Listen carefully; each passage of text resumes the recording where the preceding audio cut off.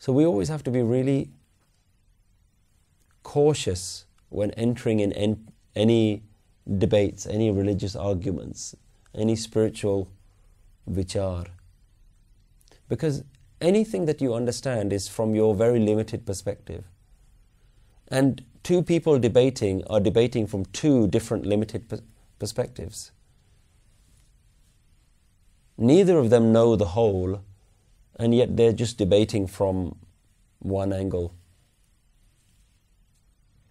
It's like the children's story that you get of all the blind men holding on to different parts of the elephant and shouting at each other, saying, No, the elephant is like this. One person's holding the tail and says, Oh, it's, it's thin and long. Someone's holding onto the tusk and saying, No, it's hard and strong. So, all the different parts that people are holding on to, the bits that they understand, they say, This is it, this is what the, the elephant looks like.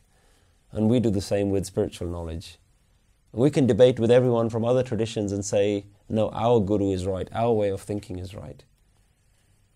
The guru may be correct, but what we know of the guru is limited. What we even know of our guru's wisdom is always going to be limited.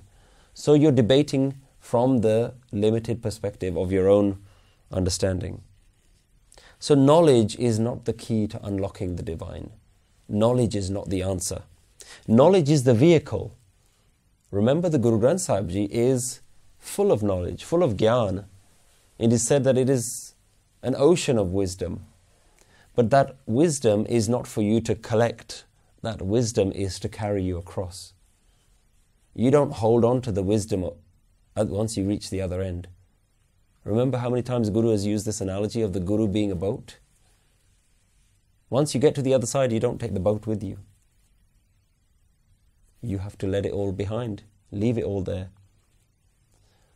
And you have to surrender everything. So you can't hold on to this knowledge of the Guru. The knowledge is the boat that carries you across. But the knowledge shouldn't be hold, held on to. Once you hold on to the knowledge, then you hold on to the one, you're remaining on the boat. You're saying, I'm happy in the boat. What is the purpose of a boat? To get you to the other side. If you're so happy with the boat, you say, I'm just going to stay here. The very purpose of the boat is not being fulfilled then. The very purpose of the boat is to get you to the other side. But then you have to get off. So we can't limit ourselves and say, you know what, I'm going to learn everything in Guru Granth Sahib Ji and that's it, I'm going to know all that knowledge. No, the Guru wants you to transform yourself. The purpose of the knowledge of the Guru is that you liberate yourself from your bondage, from your attachments. Band khalase pane hoye. From your bondage, from your attachments in life. You have to be graced with the knowledge to move beyond that.